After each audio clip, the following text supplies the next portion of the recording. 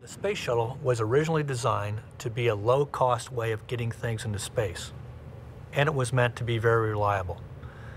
After the Challenger loss, we realized it wasn't all that reliable, and it was also determined to be expensive compared to launching things on unmanned rockets.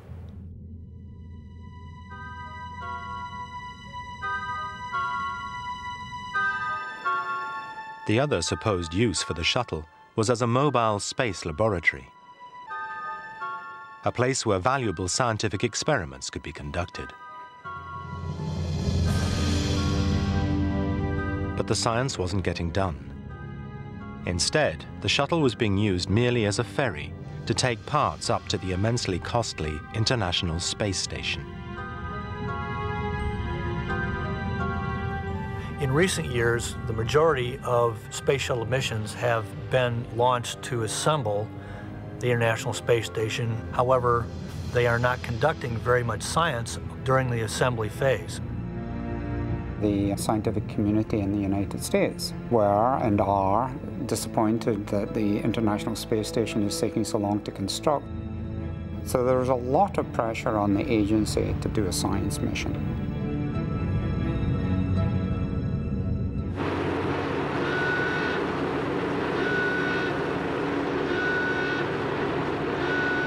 NASA had to do something to justify the $4 billion a year it was spending on the shuttle.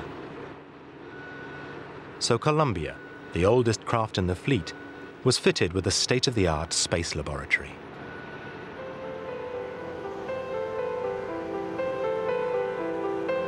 This mission would be the first to use it. It meant that for NASA and the seven astronauts on board, there was a lot at stake.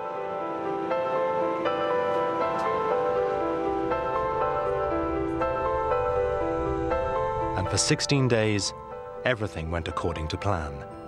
The team worked round the clock on their experiments. If we didn't work 24 hours a day, we'd be giving up eight hours of sleep time that could otherwise be used for science. So the intent is to pack each minute of the 24 hours that we're on orbit with science.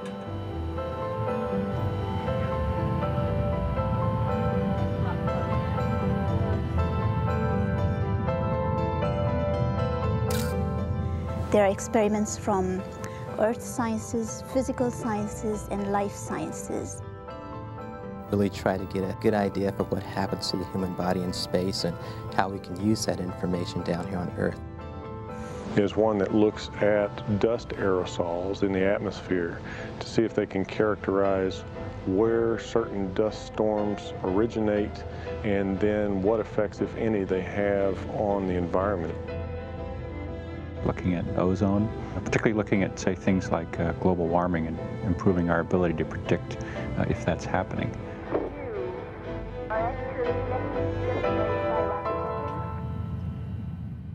After two weeks in space, the science mission was declared a triumph. All that was left was to gather their results, re-enter the Earth's atmosphere, and come home. Entry's a, a little bit better than launch. You know, it's, it's a little quieter. It's not quite as violent, and uh, you can enjoy it a little bit.